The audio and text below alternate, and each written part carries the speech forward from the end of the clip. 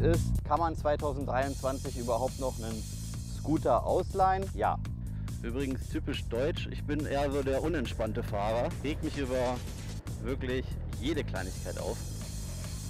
Kassi. No, it's too much. 80. Einen wunderschönen guten Tag, liebe Leute. Herrliches Wetter und ein neues Video steht für euch bereit. Und zwar, ich habe es ja schon mal versprochen, wir fahren mal eine Runde Scooter. Aber nicht nur das, ich erkläre euch heute mal ein paar ja, wichtige Dinge, wie es jetzt ist. Kann man 2023 überhaupt noch einen Scooter ausleihen? Und die Antwort ist ja. Derzeit, wir haben heute den 25.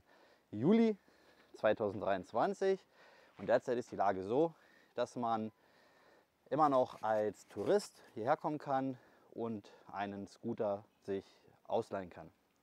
Kann man auch bei uns tatsächlich direkt im Hotel machen sogar. Und ansonsten gibt es unzählige Anbieter. Da immer einfach so ein bisschen drauf achten und darauf aufpassen, dass man da eben dann jemand vernünftiges Gerät, dass das Gerät gut aussieht. Wir haben zum Beispiel äh, einen eigenen. Ich zeige das mal eben hier. Ist ein bisschen schmuddelig. Der wird eigentlich öfters gereinigt, aber das ist jetzt schon wieder ein paar Tage her. Das ist ein Honda, Honda PCX 160. Ja, das ist so ein gängiges Modell, fahren sehr viele.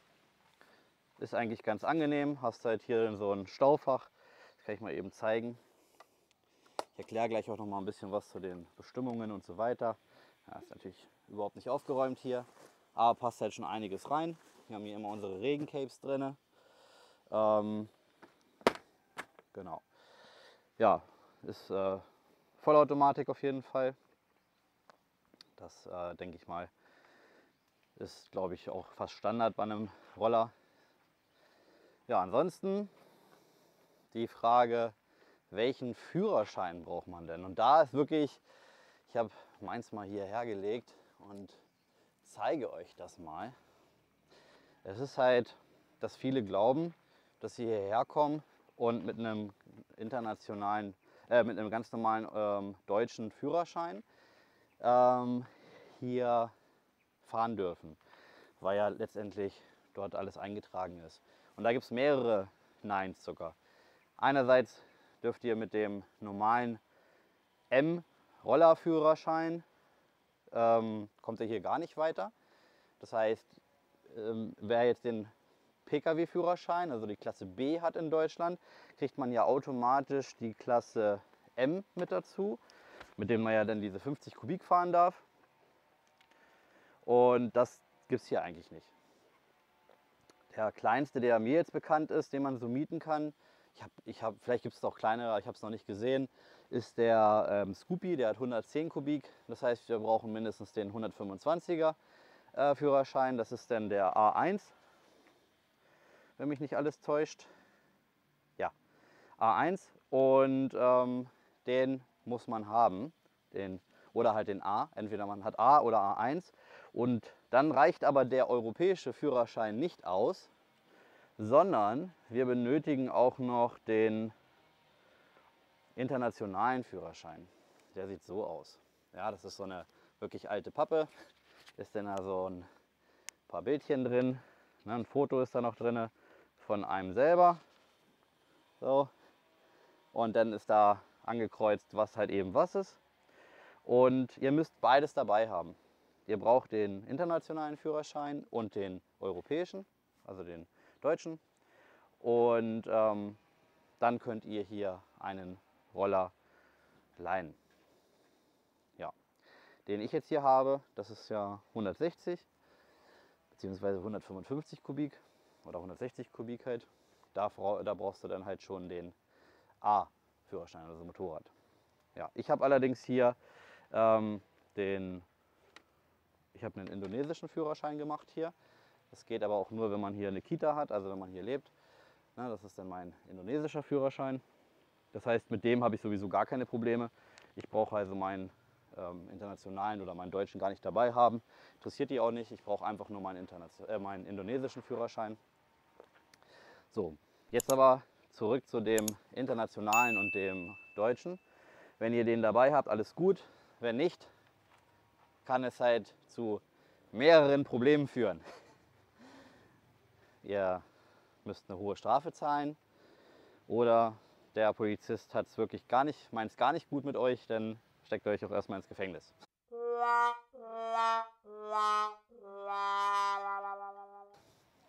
Beziehungsweise nehmt euch einfach mal mit auf die Wache. Alles schon gehört, alles schon gesehen. Ich würde es nicht riskieren. Äh, in den meisten Fällen ist es so, dass äh, ihr aber eine Strafe zahlt, wenn ihr den internationalen Führerschein nicht habt. Das sind meistens sind es so roundabout 500.000, das sind so 30 Euro. Aber die wollen die Richtlinien ja nun verschärfen und ich würde es halt nicht riskieren. Also es wird wahrscheinlich dann auch so sein, so wie ich jetzt in den meisten Fällen auch gesehen habe, dass der Roller dann stillgelegt wird und ähm, dass ihr wahrscheinlich auch erst gar keinen Roller bekommt. Denn die Vermieter sind jetzt dazu auch ähm, ja, angeregt worden und die müssen das jetzt auch machen, dass sie den Führerschein überprüfen, damit sie dann gar keinen rausgeben an Leute, die den gar nicht haben dürften. Finde ich auch gut, denn ähm, ich finde halt auch so eine gewisse Erfahrung sollte auch dazu gehören, ob man halt sowas auch fahren kann. Ihr werdet gleich ein paar Fahrszenen sehen und äh, man sollte hier auf jeden Fall fahren können. Ansonsten Helm, ganz wichtig. Das gehört hier zu den ja, wichtigsten Regeln, finde ich. Ähm, auch wer dann wieder ohne Helm erwischt wird, zahlt eine Strafe. Das ist nicht besonders hoch für uns Deutsche natürlich, sind 30 Euro roundabout. Ähm, aber auch da wollen die halt schärfer vorgehen. Und ganz ehrlich, eigene Sicherheit. Wer mich auf Instagram schon ein bisschen länger verfolgt, weiß, dass ich erst vor kurzem einen schweren Unfall gesehen habe, wo ein Jugendlicher sich mehrmals überschlagen hat mit dem Roller und der wäre definitiv tot gewesen, wenn er keinen Helm aufgehabt hätte. Und auch im äh, Bekanntenkreis habe ich schon miterlebt, dass Unfälle passiert sind, wo die sich den Kopf schwer aufgeschlagen haben. Ähm, ja, setzt einfach einen Helm auf. Ihr braucht da auch, wenn ihr denn das macht und angehalten werdet, viele sind dann am Diskutieren mit der Polizei. Und ähm, ich kann euch nur so viel sagen, spart euch das direkt. Wenn ihr mal angehalten werdet, dann zahlt das einfach und hört auf zu diskutieren. Genauso wie ja, die Einheimischen fahren auch alle ohne Helm. Das interessiert die hier nicht. Das ist halt deren Land. Die ähm, werden hier mit Sicherheit nicht sagen, ach so, ja stimmt, äh, fahren ja alle anderen auch ohne, deswegen genauso wie auch ohne T-Shirt fahren, ist auch nicht erlaubt. Und betrunken fahren natürlich auch nicht. Das sind, sind eigentlich Sachen, wo man sagt, ist logisch, aber anscheinend nicht. Ich mache jetzt den Rollerstart klar. Ich fahre jetzt los. Wir müssen einmal tanken. Dann seht ihr nämlich auch gleich mal, wie das hier auf einer Tankstelle funktioniert. Nicht besonders äh, atemberaubend, aber vielleicht interessiert es den einen oder anderen. Und dann fahren wir und schauen uns mal ein bisschen die schöne Gegend an. Und ich fahre einmal durch U-Boot City durch. Viel Spaß!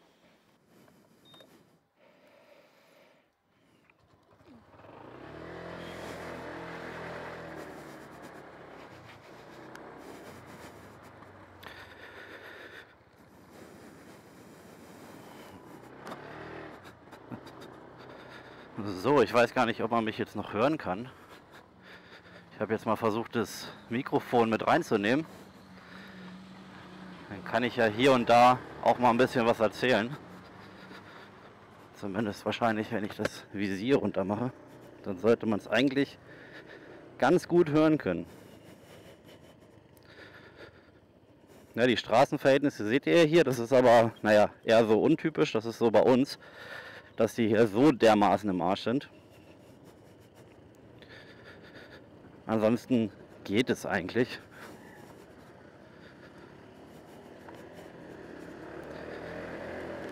Und ja, das ist die einzige Zufahrtsstraße zu uns.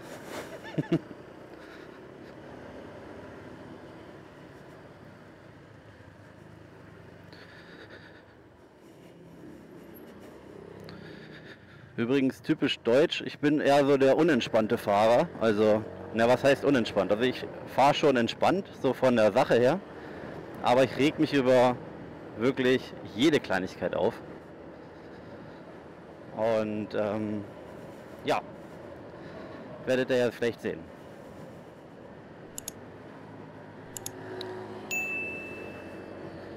Jo, einfach mal so dran vorbei. Übrigens, die Verkehrsregeln sind hier passt schon. Es gibt ja eine, eine einzige Verkehrsregel und die ist passt schon. So jedenfalls das Gefühl. Das ist natürlich Spaß. Ne? Also klar, es gibt hier Verkehrsregeln, gar keine Frage. Ja, das hat jetzt Sinn gemacht, mich so blöde zu überholen, um dann hier so zu fahren. Genau.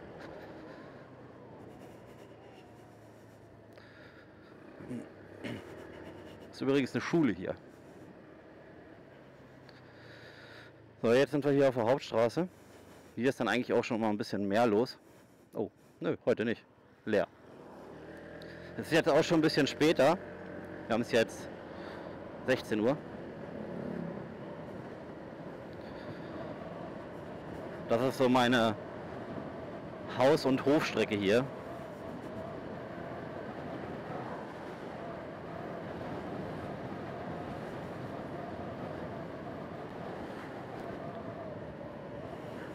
Seht ihr dann halt auch, dass die Straße halt extrem im Arsch ist halt, ne? An vielen Stellen. Ich weiß nicht, ob man das auf der Kamera so gut sehen kann. Ich sehe nur so einen Mini-Ausschnitt auf der Kamera, weil die mir direkt vorm Helm hängt. Übrigens so ähm, innerorts Richtgeschwindigkeit 50. Fahre ich ja, sieht man ja.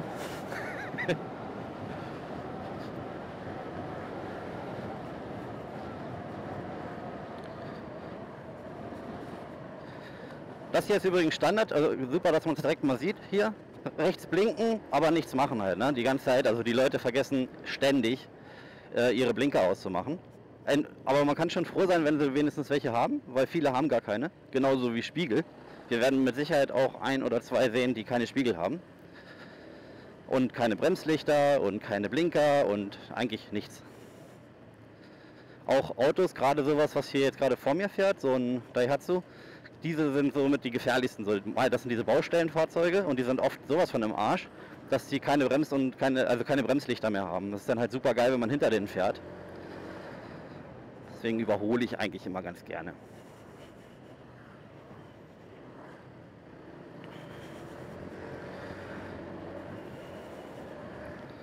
Das sieht wahrscheinlich alles auf der Kamera wesentlich spektakulärer aus, wie es eigentlich ist. Also ihr denkt jetzt wahrscheinlich hier der Bali Ghost Rider.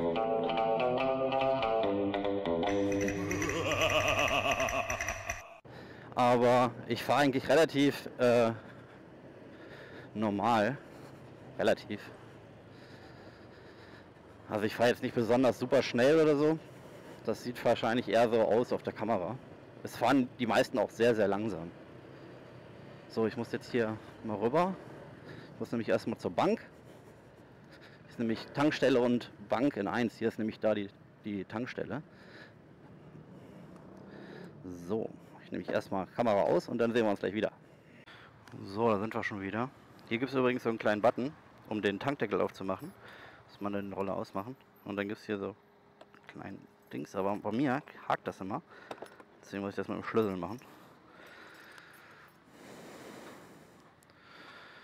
Gucken schon alle doof. Warum spricht der Mann mit sich selber?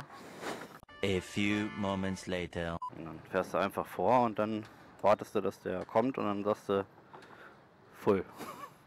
Und dann macht er das Ding voll und dann siehst du da, wie viel es ist. Ist auch übrigens geil. Seht ihr da diese rote Null? Da ist einfach äh, hinten nochmal eine Null dran gemacht, weil die Anzeige irgendwie wahrscheinlich falsch ist oder so. 2000 years later. So, da ist er. Jetzt kommt er. Los geht's.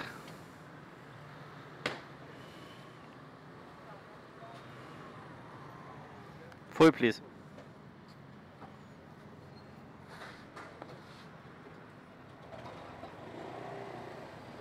An eternity later.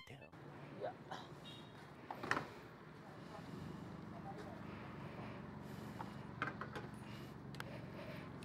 Kassi. No, it's too much. 80. But you give me...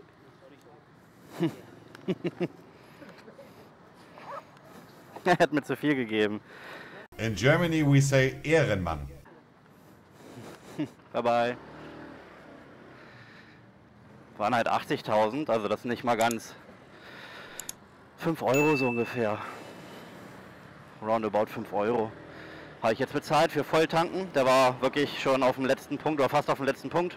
Ja, und hat mir jetzt so viel wiedergegeben, hat mir 30.000 wiedergegeben und ich habe ihm 100.000 gegeben. Und ähm, die Leute verdienen ja sowieso schon wenig und dann bescheiße ich die nicht auch noch um 60 Cent oder so. Das ist für die viel Geld. Und ähm, Durchschnittseinkommen von Balinesen sind roundabout 3 Millionen. Und das sind halt 180 Euro. Ja, dann werde ich die definitiv nicht auch noch um 60 Cent bescheißen. Also das macht man ja wirklich nicht. Ähm, ja, also es passiert hier öfters, dass sie sich verrechnen. Kann man sich jetzt halt drüber freuen. Ich gebe es halt immer ab. Ja, mal so ein kleiner, ähm, ja, so ein bisschen, ja, so ein kleiner Exkurs hier für die Leute, die äh, nicht so oft Motorrad fahren oder Roller fahren. Ähm, die Balinesen oder die Indonesier generell, die fahren, die fahren relativ ähm, entspannt alle. Also die sind so fest der Meinung, dass alles, was von hinten kommt, hat auf den Verkehr vorne zu achten. Und die fahren dann halt auch einfach. Also es kann dann halt ursprünglich passieren, dass die halt äh, links, rechts fahren, ohne zu blinken. Hier ist zum Beispiel einer ohne Spiegel. ähm, also die fahren halt einfach. Und das passt dann halt irgendwie auch immer schon. Deswegen muss man halt eben schauen. Und wenn du als Deutscher eben auf dein Recht hier pochst und auch so fährst, dann wirst du definitiv einen Unfall haben einfach ein bisschen, also du kannst schon ähm, so, auch so ein bisschen aggressiver fahren, ne? auch so wie ich, links, rechts, re links, rechts und alles überholen und hupen und schreien, ähm, aber poch nicht auf dein Recht, so von wegen, ich habe jetzt hier Vorfahrt, dann wirst du halt eben Probleme kriegen. Wenn du, kleiner Tipp, wenn du dich nicht traust ähm, zu fahren hier oder ja generell, weil dir das alles zu viel ist, dann fahr langsam und fahre einfach auf der linken Seite. Hier ist ja generell Linksverkehr, wie man sieht. Dann fährst du halt einfach links und ähm, dann hast du den Verkehr so, ja, der überholt dich dann halt die ganze Zeit und dann lässt du den so ein bisschen liegen. Dann passt das eigentlich auch. Also wenn man halt hier die meiste Zeit langsam links fährt, dann hupt auch keiner, dann stört dich auch keiner. Und dann, dann ist das schon okay. Hier sind wir jetzt so in U-Boot City. Hier ist so, ja, das ist jetzt ja wie gesagt ab 4. Hier ist dann auch schon relativ viel los. Man sieht, alles voller Touristen, alles voller Roller. Aber ich muss ganz ehrlich sagen, es sieht fast den ganzen Tag so aus. Also jetzt ist halt nur ein bisschen mehr. Aber der Verkehr generell in U-Boot ist brutal. Nichts im Vergleich zu Canggu, Seminyak oder Kuta, gar keine Frage. Da ist das ist da noch schlimmer, viel, viel schlimmer. Hier ist äh, dagegen schon echt entspannt. Ja, übrigens, das ist eine Einbahnstraße hier. Aber Einbahnstraßen braucht ihr euch nicht wundern, wenn dann mal äh, Gegenverkehr kommt. So wie jetzt hier. Das ist völlig normal.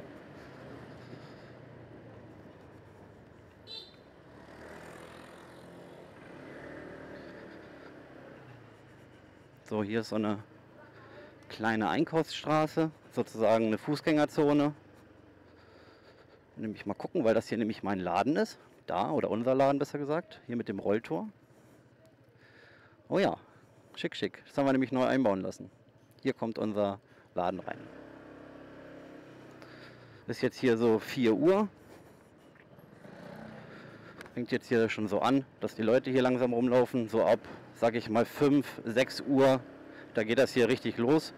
Dann sind die ganzen Bars hier auch voll und ähm, wenn es dann halt ein bisschen dunkler wird, dann ist hier auch schön beleuchtet. Und dann so bis 10, halb 11, 11, dann ist hier auch richtig was los.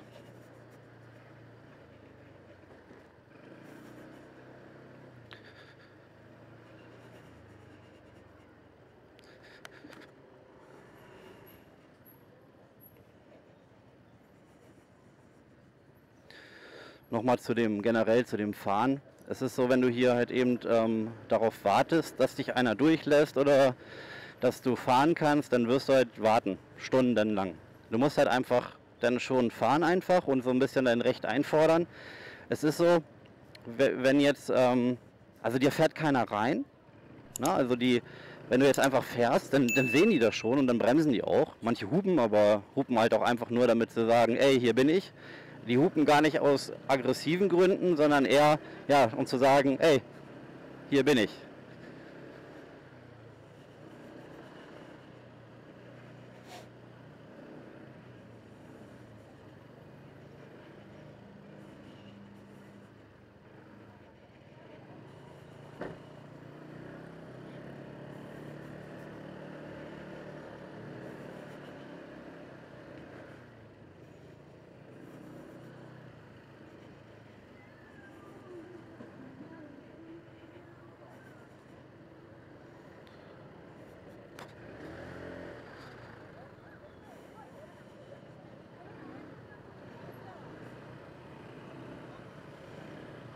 Na, wie gesagt, wer hier halt Angst hat zu fahren, der verliert halt letztendlich, weil man sieht ja, die zwängen sich hier überall noch durch und ähm, machen und tun.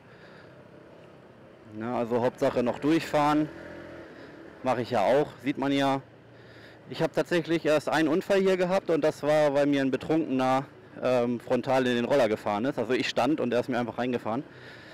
Ansonsten, ihr seht ja, wie ich fahre ich habe noch keinen gehabt. Ich bin aber, muss ich dazu sagen, geübter Fahrer. Ich bin ja in Deutschland, bin ich Supersportler gefahren und kann natürlich deswegen auch fahren. Aber wenn man halt eben nicht so geübt ist, dann fährt man halt einfach ein bisschen langsamer, fährt am Rand und dann passt das auch. Weil viele, ich habe schon gesehen, viele, die sagen in ihren Videos dann wirklich hier, erzählen da Horrorszenarien und was weiß ich was und das ist natürlich alles Quatsch. Man muss halt eben wie auch in Deutschland. Das soll jetzt nicht auf, auf die Balinesen oder Indonesier bezogen sein, sondern generell muss man immer mit der Dummheit anderer rechnen und das muss man hier halt eben sehr. Nicht weil, nicht weil die hier alle doof sind, sondern weil die natürlich ähm, haben die jetzt hier nicht so eine Fahrschulausbildung wie wir in Europa oder in Deutschland. Die fahren meistens, die, die meisten haben gar keinen Führerschein oder es fahren halt viele schon sehr jung. Und dann muss man natürlich auch damit rechnen, dass sie es dann halt nicht so gut können. Und wie gesagt, die fahren halt eben ohne zu gucken und manchmal blinken sie links, fahren aber rechts und äh, auch andersrum manchmal. Also da muss man halt eben, muss man eben schauen. Eben ist mir gerade einer hinten reingefahren, das ist dann halt so. Dann fahren sie dir hinten gegen den Reifen oder was auch immer da musst du dann halt mit leben. Also das ist kein Grund hier dann anzuhalten und die Polizei zu rufen. Auch so, wenn man mal zusammenstößt, auch so Spiegel an Spiegel oder so, ähm, da hält hier keiner an und äh, ruft dann die Polizei.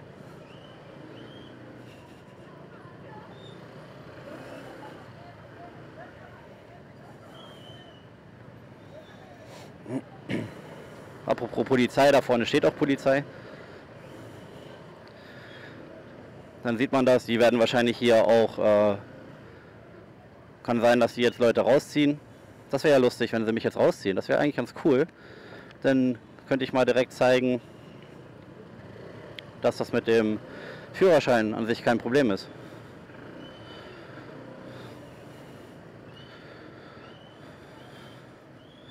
Aber sieht eher aus, als wenn die die wegen den parkenden Rollern hier stehen.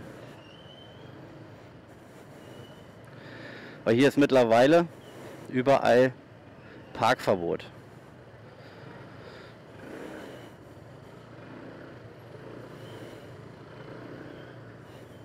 Das hier, was die machen, dürfen sie eigentlich nicht mehr. Und lustigerweise machen die dann oft, ähm, dass sie die Luft rauslassen.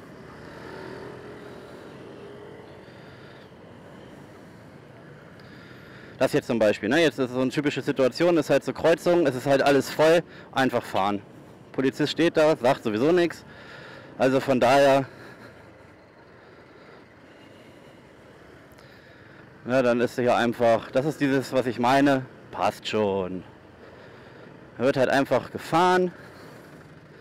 Irgendwer wird schon Platz machen. Ne, die stehen jetzt hier alle wie die Blöden und der Papa, der fährt jetzt hier schön durch. Husch, husch, weg, weg. Jo, schön den Papa Platz machen. Mack, mack. Jo.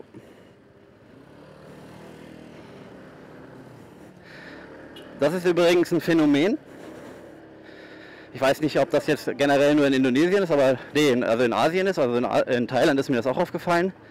Die können alle nicht vorausschauend fahren. Das ist hier, weiß ich nicht.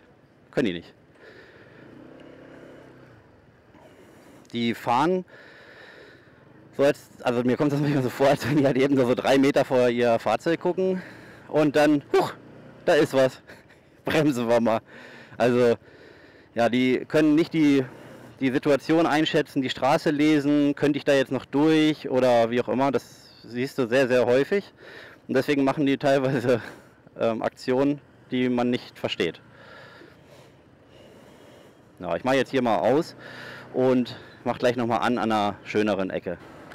So, da sind wir vorbei am Stau. Gott sei Dank. Jetzt fahren wir quasi wieder zurück zu mir nach Hause, aber über den anderen Weg, also über einen, über einen ja, schöneren Weg.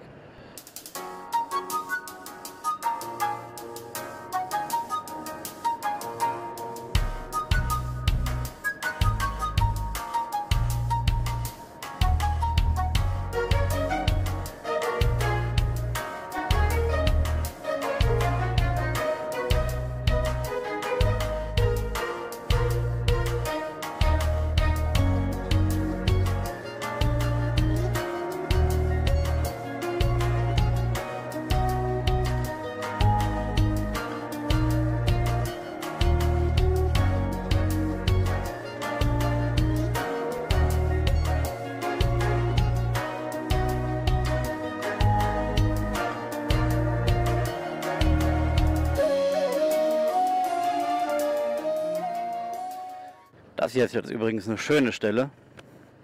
Schaut mal hier. Ist wirklich cool. Und hier ist jetzt so eine Riesenbrücke. Es geht hier richtig doll runter. Ich bleib mal kurz stehen. Zeig euch das mal.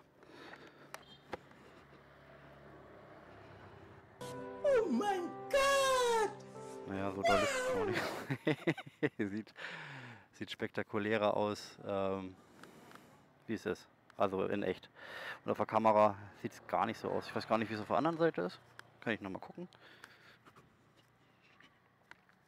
Ah, Bali ist schon schön. Das muss man schon dazu sagen.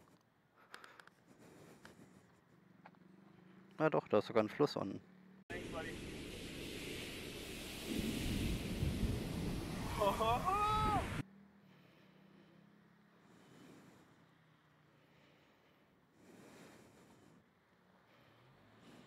Na, fahr mir nicht gegen meinen Roller, meine Jungen. So, weiter geht's.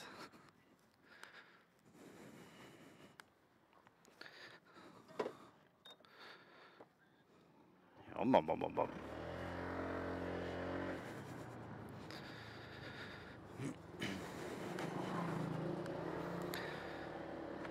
Ja, zu dem, ich hatte ja vorhin schon ein bisschen was dazu gesagt, aber wir müssen mal gucken, welches Material wir letztendlich hier verwenden können für das Video.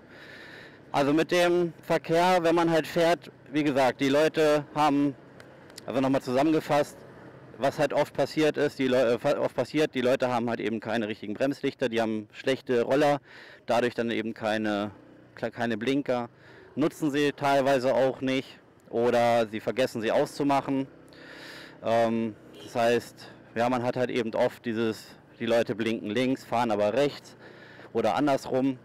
Und das kann halt schon zu Unfällen führen, wenn man halt eben vorbeifährt und nicht darauf achtet. Also ich fahre halt eben so, dass ich immer auf alles achte. Dann, wie gesagt, die fahren nicht sehr vorausschauend und die fahren oft unnötig einem in den Weg, was man dann nicht, sich nicht erklären kann, so richtig.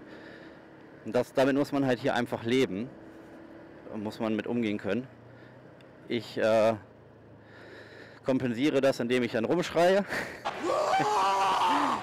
ähm, aber ansonsten macht es schon Spaß hier zu fahren. Also das ist auf jeden Fall. Ein ganz besonderes Highlight ist es dann nochmal, wenn es regnet.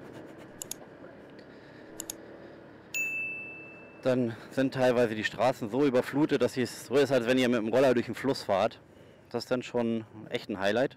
Und entgegen aller, oder nicht aller, aber vieler Meinungen ist es hier auch immer noch auf Bali wunderschön, wenn es Regenzeit ist.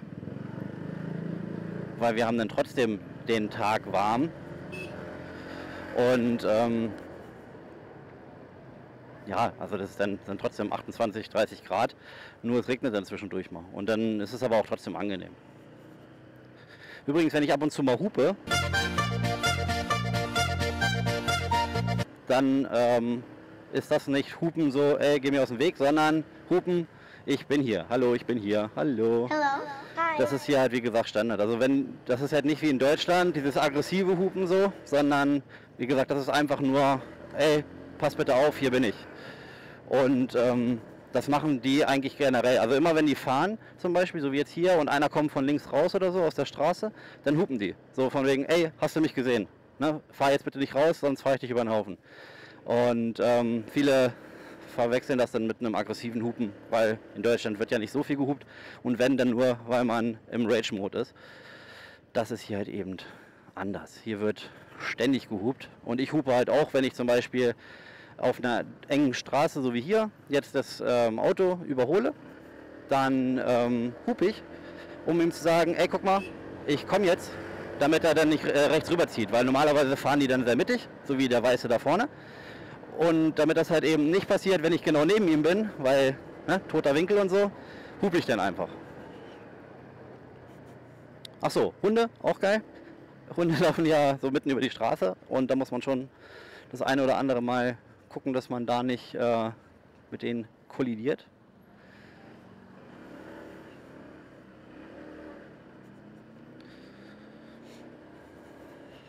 So, jetzt ist auch mein Akku gleich alle. Dann würde ich sagen, Kuss auf die Nuss, ihr Lieben. Ich hoffe, das Video hat euch gefallen. Schreibt mir gerne in die Kommentare, ob ihr mehr davon sehen wollt. Dann kann ich mal in ganz andere Regionen fahren. In die Berge, auf die Dörfer. Dann seht ihr mal, wie es da so abgeht. Schreibt mir gerne mal, ob euch das interessiert. Dann haue ich gerne so einen Content mal raus hier von Bali Roadtrip. Vielleicht auch mal mit dem Motorrad dann. So, Rinja hauen.